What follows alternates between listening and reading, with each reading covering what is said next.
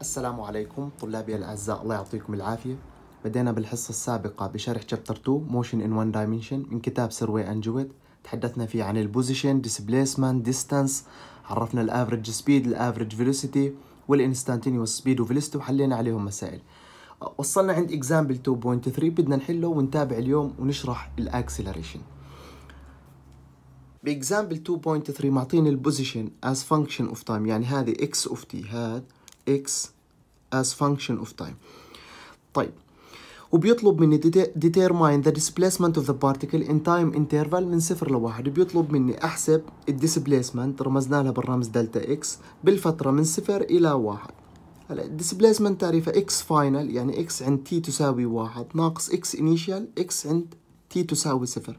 ببلش احسبها بدي أعوض الواحد ب x وبدي أعوض الصفر ب x. خلينا نعوضه مع بعض. صار عندنا ناقص أربعة. t واحد ناقص أربعة بواحد زائد اثنين في واحد تربيع. ناقص. هلا بدي أعوض صفر. فبتطلع هاي صفر. هنا في صفر وصفر. صفر زائد صفر صفر. بدنا نحسبها. فبتطلع معي delta x ناقص أربعة زائد اثنين بتطلع ناقص اثنين متر. هيك بكون حسبت delta x بال interval من صفر لاثنين هاي النتيجة اللي إيش ترجمت؟ هاي النتيجة اللي أنا حصلت عليها. معنى ذلك بالفترة الزمنية من صفر لواحد ال particle كان يتحرك وين؟ بال negative x axis. يعني باقي ماشي وين؟ آه بال negative direction. طيب نحسب delta x بالفترة من t من واحد إلى ثلاثة. قول إكس عند ثلاث ناقص إكس عند واحد. وبعوض ثلاثة. بدك تعوض بالاقتران ناقص أربعة بثلاثة زائد اثنين بثلاثة تربيع. ناقص وتعوض الواحد بالاقتران ناقص أربعة بواحد زائد اثنين بواحد تربيع. وتحسبها. يفترض لو حسبتها تطلع معك موجب 8 متر موجب 8 متر. فهيك انت قدرت تحسب الإزاحة بفترتين زمنيات. بالتالي هو ال average velocity خلال نفس الفترتين الزمنيات يعني يعني v average v average بالفترة من صفر لواحد. هلا v average تعريفها ال displacement delta x على delta t مزبوط؟ delta x هلا حسبناه ناقص 2 بالفرع الأول و delta t معي من صفر لواحد فيها واحد فبتطلع ناقص 2 متر في الثانية. و v average بالفترة من واحد لثلاث أيضا تحسب delta x على delta t delta x ثمانية delta t ثلاث ناقص واحد فيها اثنين. ثمانية على اثنين فيها أربعة متر في الثانية انتقل للفرع سي الفرع سي قال بده ال instantaneous velocity of particle عند زمن هلا إحنا كيف عرفنا ال instantaneous velocity خلينا نرجع لها. ال instantaneous velocity عرفناها الحصة اللي ماضية كالآتي. اللي هي عبارة عن dx by dt بدي اشتق الإقتران بالنسبة للزمن عند زمن معين. واصلا عرفناها هي عبارة عن إيش؟ الميل. ميل المماس. هلأ بنحسبها بطريقتين. فخلينا أول خطوة نشتق الإقتران. نعمل dx by dt كول هاي instantaneous velocity تمام؟ عرفنا dx by dt خلينا نشتق الإقتران مع بعض. ناقص أربعة. ناقص أربعة t مشتقتها ناقص أربعة. زائد اثنين باثنين اللي هي t أربعة t. هلا وعوض الزمن اللي هو معطيني قديش t معطيني إياها؟ اثنين ونص. هلا آه. ويساوي ناقص أربعة زائد أربعة ضرب اثنين ونص. ناقص أربعة زائد أربعة ضرب اثنين ونص فيها عشرة. ناقص أربعة زائد عشرة فيها ستة. ستة متر في الثانية. فبتطلع ال instantaneous velocity. عند الزمن اثنين ونص قديش مقداره؟ ستة متر في الثانية. هاي ال instantaneous velocity أنا حسبتها من ال function هلأ في طريقة لحساب ال instantaneous velocity من وين؟ من ال graph. بنلاحظ مثلا عند وين طالبة عند اثنين ونص. آه هي اثنين ونص. قال اثنين ونص بمد خط وبعمل هون نقطة وبعمل مماس اللي هو بالخط الأخضر. هذا مماس للنقطة. هذا يسمى إيش؟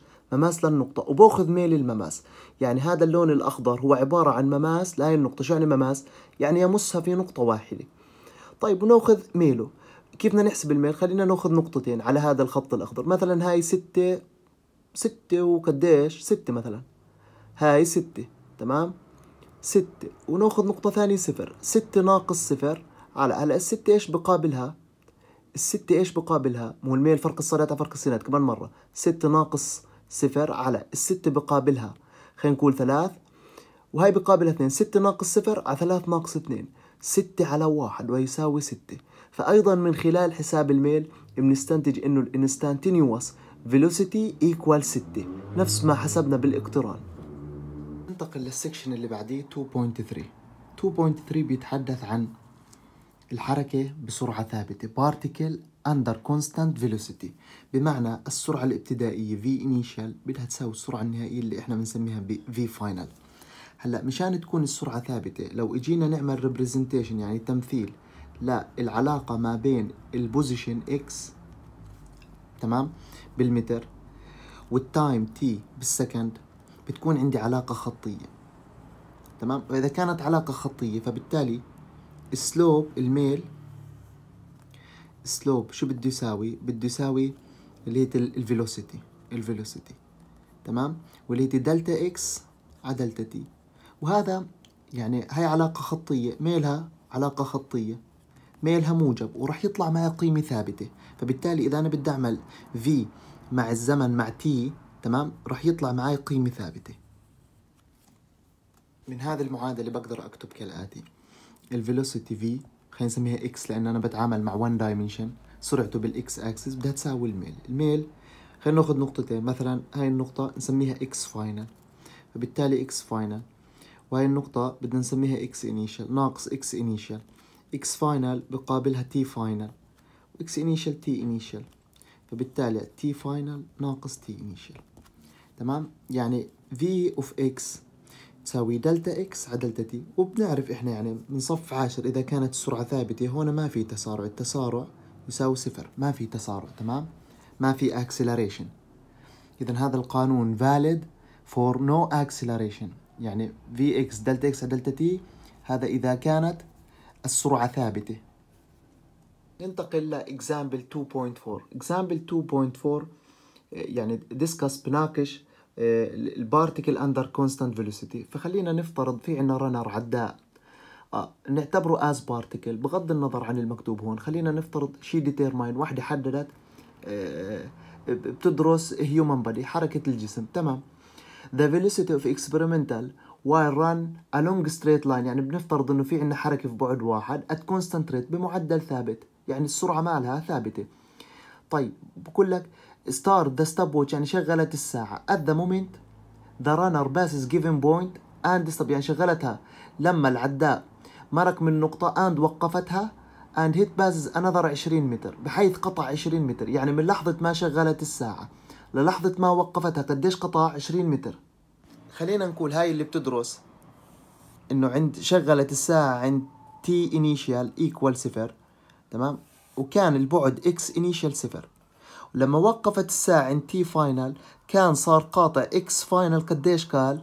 20 متر. طيب؟ معناته delta x قديش عندي؟ اللي هي x final ناقص x initial x final ناقص x initial عندي 20 ناقص صفر اللي هي 20 تمام المهم لما عدى ال 20 متر ال time inter وقفت الساعة ألقت نظرة عليها لقيته مسجل قديش عندي stopwatch أربعة ثانية.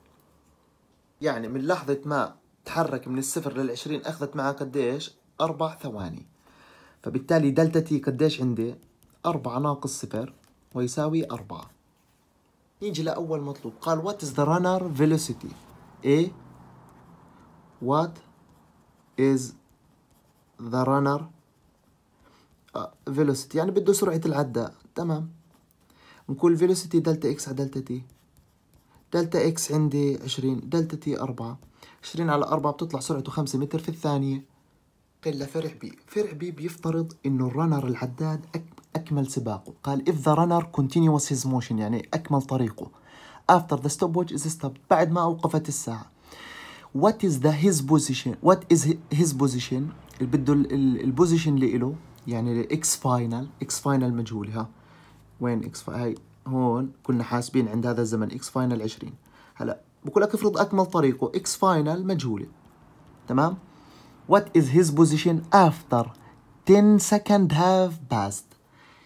After 10 second have passed. هلا هون كان قاطع أربعة ضيف عليهم كمان ستة لأنه after 10 second has have passed يقصد بأنه بعد ما قطع 10 ثواني من بدء حركته. كان عنده أربعة يعني قطع كمان إيش؟ ستة ثانية ستة اس. طيب. تمام. هلا بقدر أقول أنا أوجدت v v اللي اوجدتها بالفرع الأول بتضل ثابته v يساوي x final ناقص x initial على delta t v اللي أنا اوجدتها كانت خمسة. هلا x final لا نعلم مجهولة. x initial أنت حر. من وين بدك تأخذها؟ فإذا اخذتها أنت صفر ناقص صفر. يعني إذا أخذتها من البداية x initial صفر ف delta t بدها تكون عندك عشرة. وبالضرب التبادلي بينتج عندك عشرة بخمسة فبتطلع x final قديش بتساوي خمسين متر. يعني قديش قطع خمسين متر. هذا حل. هلا ممكن طالب لا. يحكي أستاذ أنا بدي أخذ إشي آخر. شو يقول؟ يقول v تساوي x final مجهولة لكن x initial بده يأخذها مثلا العشرين. ناقص عشرين. تمام؟ على delta t هلا delta t من من ال من عند العشرين لعند هاي فيها ستة. تمام؟ فيها ستة وهاي خمسة. هاي v قديش وجدناها خمسة. وصلت كمان مرة. بده ياخذ ال x initial هو حر بده ياخذ ال x initial عشرين.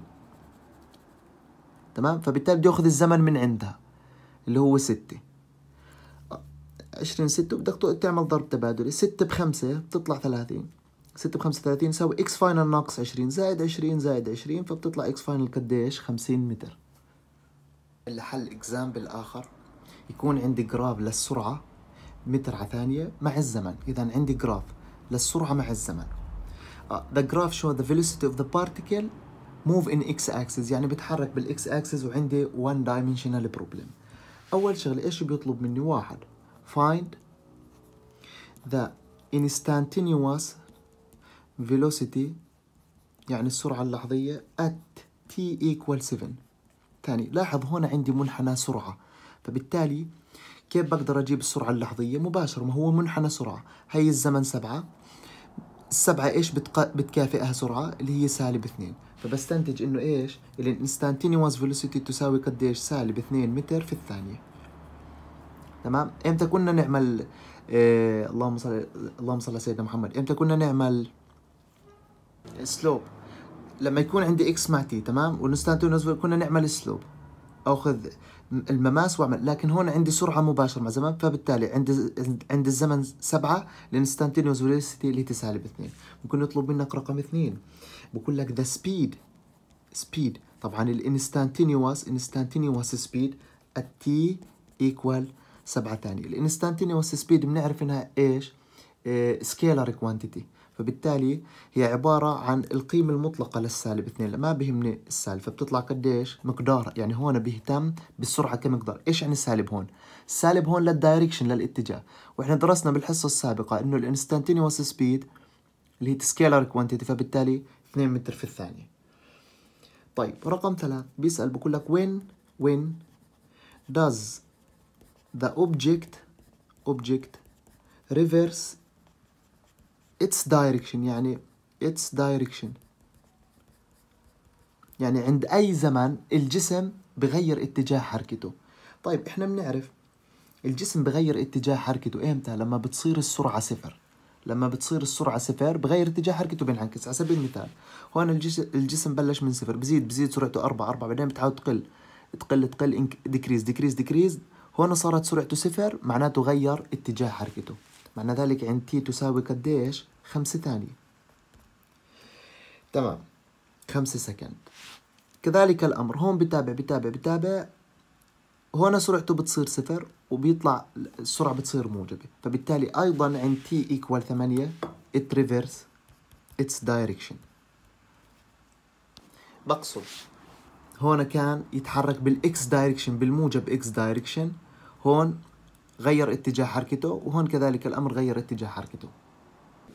ننتقل للمطلوب الرابع. المطلوب الرابع يطلب منك ال displacement displacement تمام؟ during خلال first ثمانية first ثمانية second يعني أول ثمان ثواني. بده الإزاحة. هلأ على الصادات معطيني السرعة وعلى السينات معطيني الزمن. إحنا بنعرف إنه الإزاحة delta x شو بتساوي؟ تمام؟ v في t v في t أو v delta t فبالتالي إذا بضرب الصادات بالسينات هيك كنا نتعلم بالمدرسة. إذا ضربت الصادات بالسينات كيف بقدر أجيب الكمية؟ من خلال المساحة تحت المنحنى. المساحة تحت المنحنى. أو هون بنعرفها بالجامعة كيف؟ نقول delta x ال definition اللي هي عبارة عن integration تكامل. of v dt والتكامل هو نفسه ال area. تمام؟ فبالتالي عندي v مع t بدي ال displacement بقول displacement ما هي v في t إذا ضربت الصادات بالسينات بجيب المساحة تحت المنحنى. فبالتالي عبارة عن المساحة تحت المنحنى. والمساحة تحت المنحنى بدك تحسبها لعند الزمن 8 مساحة مثلث زائد مساحة مثلث. المثلث الأولاني نص قاعدته خمسة ارتفاعه قديش؟ أربعة. زائد المثلث الثاني نص قاعدته ثمانية ناقص خمسة ثلاث وارتفاعه ناقص اثنين. وبتحسبها. حسبتها يفترض تحصل على إيش؟ سبعة متر. فبتطلع الديسبليسمنت سبعة متر. طيب ننتقل نضيف قبل ال acceleration نضيف كمان كم بند. عشان نتأكد إيش؟ من فهمنا إلى. قال المطلوب الرابع. بده average velocity velocity during first 8 second. يعني أول ثمن بده ال average velocity هلا إحنا بنعرف ال average velocity إيش ال definition لها v average أو قانونها. اللي هي delta x على delta t delta x هلا حسبتها سبعة. و delta t ثمانية. فبتطلع سبعة ثمانية متر في الثانية. طيب. طب لو طلب مني خلينا نفترض إنه ما طلب ال average velocity طلب ال instantaneous velocity آه أعتذر مش ال instantaneous مش ال velocity ال instantaneous بنجيبها. ما إحنا مباشرة. إيش الزمن بقابله سرعة؟ افترض طلب ال average speed هلا ال average speed شو عرفناه؟ عرفناه عبارة عن ال distance distance distance over إيش؟ over delta t ال distance وين بدك تجيبها مساحة. هلا هاي السالب ما بتهمني. يعني إيش مساحة هذا الشكل الأولاني؟ نص الأربعة اثنين بخمسة آه لو t عشرة. 2 5 10 ومساحة الشكل الثاني قديش؟ نص مع اثنين بتروح لي سالب 3 بس أنا ما بيهمني السالب يعني distance أنا بحسب. تمام؟ distance هي عبارة عن جمع جبري للمسافات. 10 زائد 3 10 زائد 3 على delta t اللي هي 8 فبيطلع 13 على 8 متر في الثانية. تمام؟ كيف جبت ال distance هي عبارة عن delta x 1 زائد delta x 2 كقيمة مطلقة يعني المساحة كقيمة مطلقة فما باخذ السالب.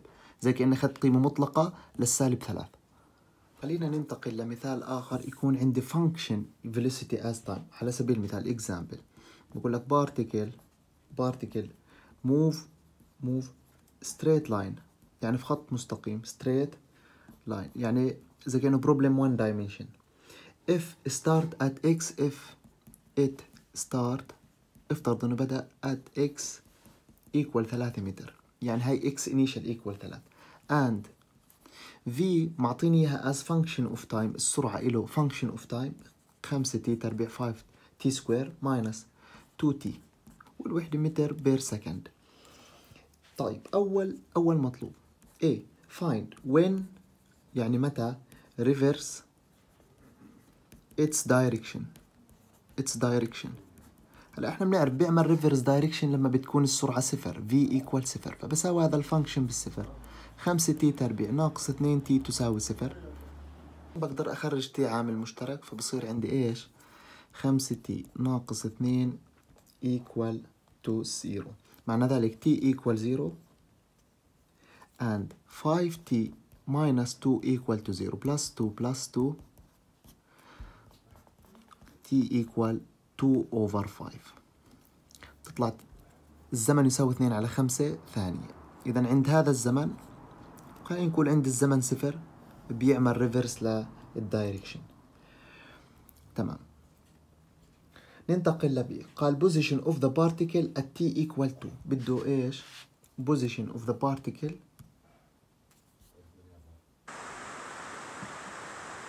ننتقل ل part b. قال بده position position. يعني x final بده of particle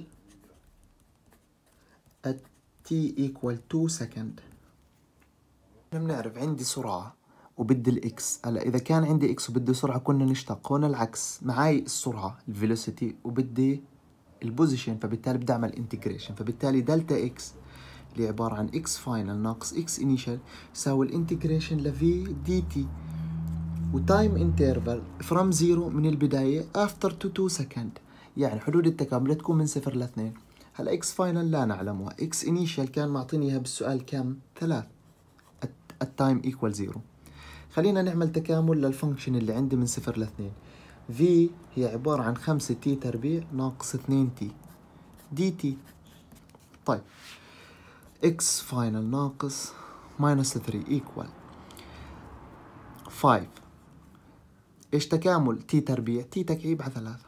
t تكعيب على ثلاثة. ناقص. اثنين إيش تكامل؟ t t تربيع over 2 هاي ما هاي بتروح وحدود التكامل من صفر لاثنين فبصير عندي x final ناقص ثلاث يساوي. هلا بدي أعوض. العلوي ناقص السفلي. خمسة على ثلاث اثنين تكعيب ناقص اثنين تربيع. تمام؟ هذا العلوي ناقص السفلي صفر. فهذه لو اشتغلت عليها بتقدر توجد إكس final إكس final ناقص ثلاث يساوي خمسة على ثلاثة. اثنين تكعيب ثمانية ناقص اثنين تربيع أربعة. هذه لو حسبتها خمسة بثمانية تقسيم ثلاثة تطلع عندك ثلاثة فاصلة ثلاثة ثلاث ناقص أربعة تطلع إكس final ناقص ثلاث ناقص ثلاثة يساوي تسعة point three three زائد ثلاث زائد ثلاث فبتطلع معك إكس final تطلع اتناش بوينت ثلاثة ثلاثة متر الآن لشرح section 2.4 acceleration يعني إحنا درسنا بالمدرسة ال acceleration كنا نعرفها نقول التسارع يوضح كيف تتغير السرعة مع الزمن. How the velocity change with time. هلأ السرعة مع الزمن ممكن تتغير زيادة فبالتالي يعني ممكن السرعة تزيد. يعني نقول velocity increases with time. تمام؟ هون هون بنقول البارتيكل is said to be إيش؟ accelerating. يعني بتسارع تمام؟ ممكن تقل decreases. ممكن السرعة تكون decreases with time. فبالتالي هون deceleration تباطؤ.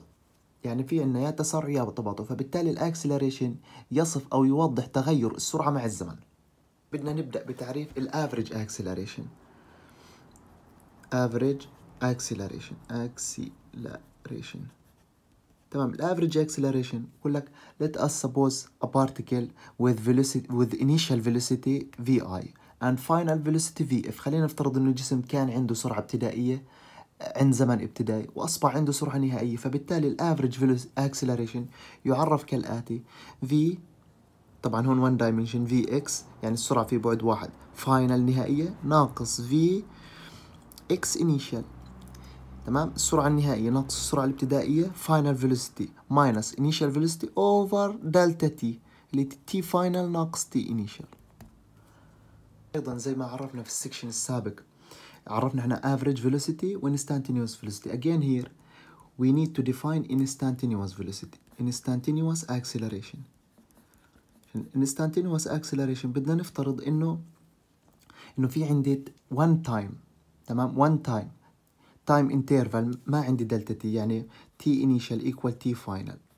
فبالتالي هون ال instantaneous acceleration بدنا نعرفه هو عبارة عن ال limit instantaneous acceleration limit لما x تقول أو delta t time. مو t initial تساوي t final يعني لما delta t تؤول لل zero آه limit اللي delta v of x على delta t وإحنا بنعرف ال limit هي عبارة عن ال derivative فبالتالي dv of x by dt يعني ال average velocity acceleration هي هي القانون اللي له. وال instantaneous instantaneous acceleration قانون اللي له دي إكس باي دي تي دي في باي دي تي مشتقة السرعة بالنسبة للزمن. يعني مثلا لو رجعنا للمثال السابق اللي حليناه ممكن هذا المثال. ممكن نستنتج إنه بهاي الفترة مثلا من صفر لعند الزمن ثلاث السرعة بتزيد صح ولا لا؟ فبالتالي هذه الفترة إيش نسميها؟ speed up acceleration هاي الفترة السرعة بتزداد speed up يعني هاي الجسم فيها بيتسارع. طيب وبهاي الفترة الجسم بيتباطأ. اذا هاي slow down slow down من هاي الفترة من خمسة لسبعة هاي برضو speed up برضو السرعة بتزيد بس بال negative direction يعني بالاتجاه معك تلاحظ السرعة بتزيد بتزيد بتزيد. هلا إيش يعني سالب اثنين؟ السالب اثنين أكبر من سالب واحد.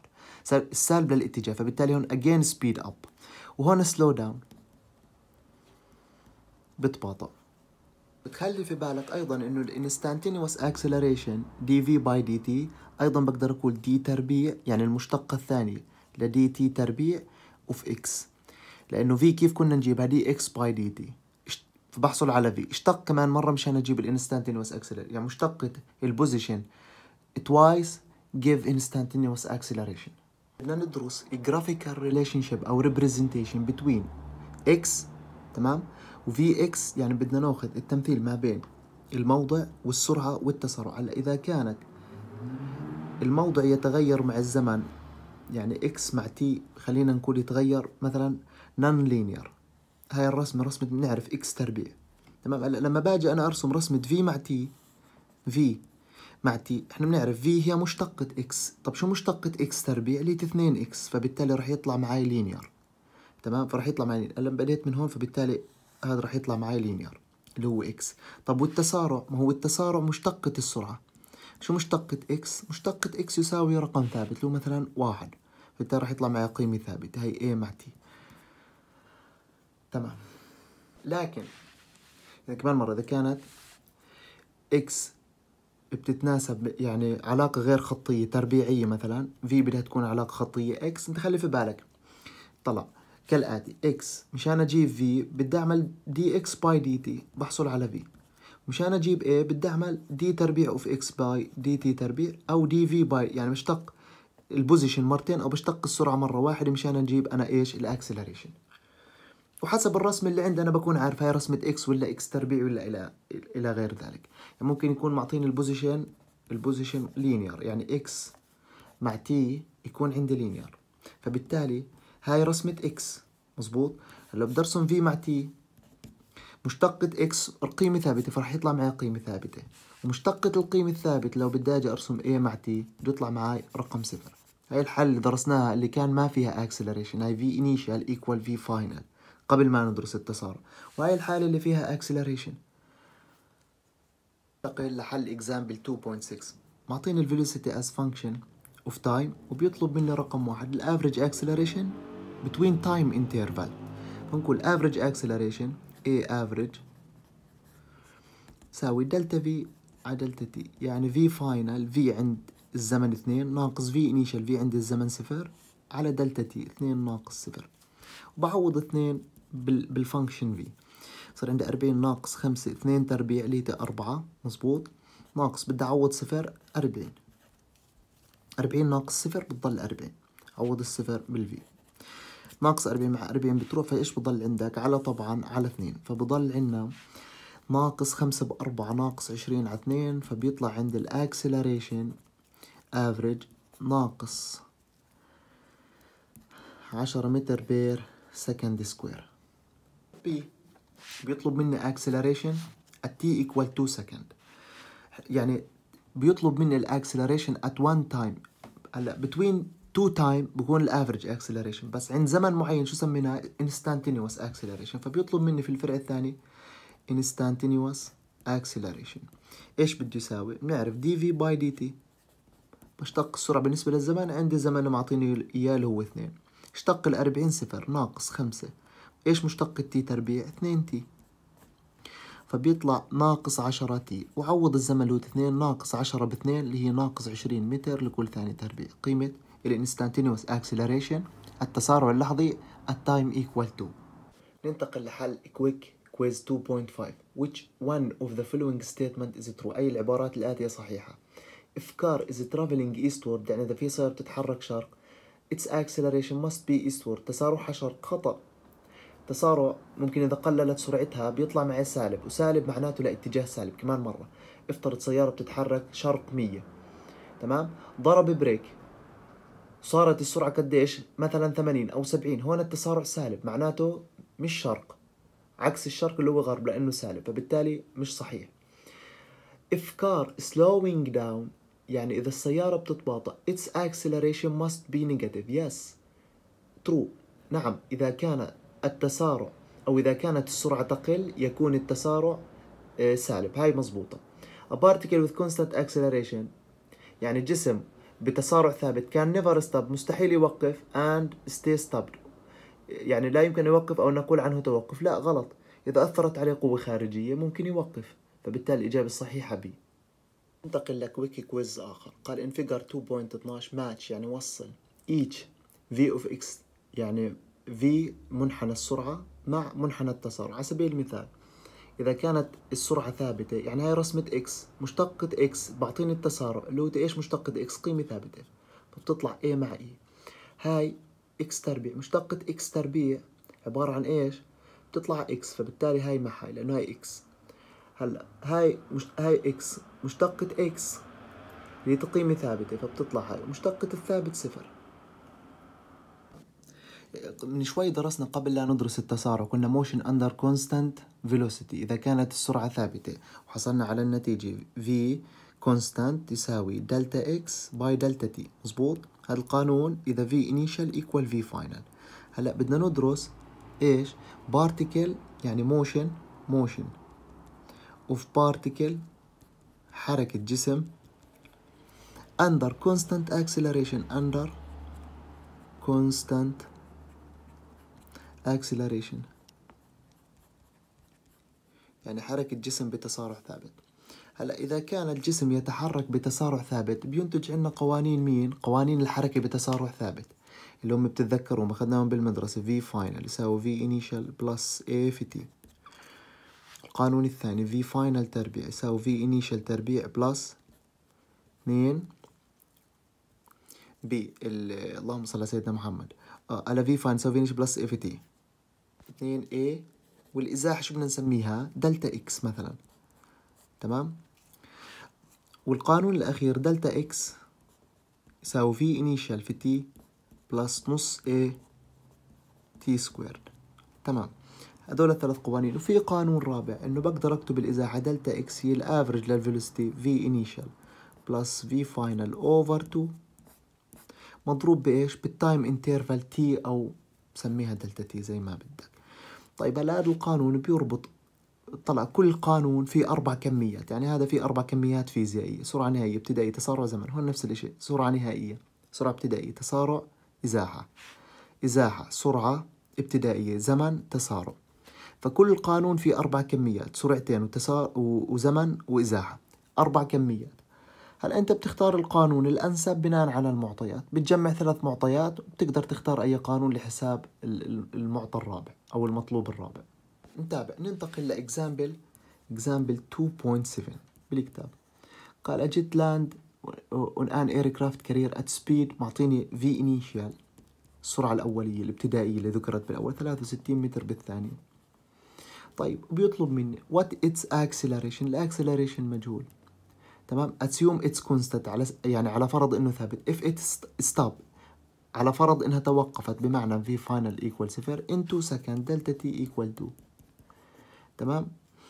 هلا كيف بدنا نجيب التسارع؟ بقول v final أول قانون نختار v initial plus a في t. V final عندي صفر v initial 63 التسارع مجهول والزمن 2 فبيطلع عندي A يساوي ناقص ثلاثة فبيطلع عندي ناقص ثلاثة وستين على اثنين ناقص واحد وثلاثين ونص. هلا part B بحكي لك if the jet touch down at, at position x initial صفر. يعني بدنا ناخذ ال x initial صفر what is the final final position بده x final. خلينا نستخدم القانون مثلا الأخير دلتا x دلتا x لو x final ناقص x initial صفر. كول في initial زائد في final كم في ثلاثة وستين زائد في final صفر. على اثنين والزمن اللي هو كام؟ كان اثنين واثنين مع اثنين بتروح فبيطلع عندي إكس فاينل يساوي 63 متر. وبقدر أحسبها من هاي المعادلة أو أي معادلة ثانية. يعطيكم العافية. بنتابع الحصة القادمة في شرح الحركة بالتسارع اللي هو السقوط الحر free falling object. سقوط الجسم سقوطا حرا.